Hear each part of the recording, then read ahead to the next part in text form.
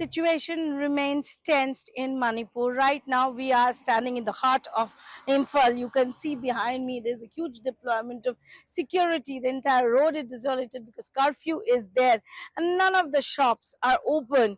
You can see that each and every uh, car which is coming, the security forces are checking those cars. Heavy deployment of security is there. None of the shop is open because it's curfew right now here and entire uh, you know entire Imphal city is also stagnant. It's totally deserted because uh, eh, the curfew is on. You can see the remnants of you can see the remnants of the violence that took place last week here.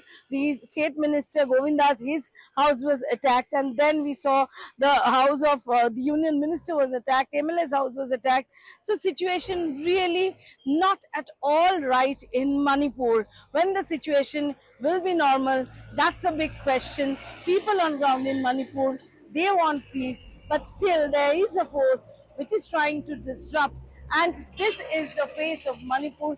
This is the ground zero, uh, the picture of Manipur, which is really tense and which is really needs to uh, come out of it. And security forces are there, state government, central government, everybody is trying. Still, there is a force which is trying to create unrest in Manipur.